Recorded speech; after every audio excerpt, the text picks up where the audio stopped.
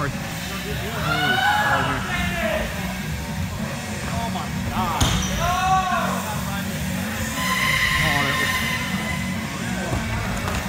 Sorry if I don't in front of you.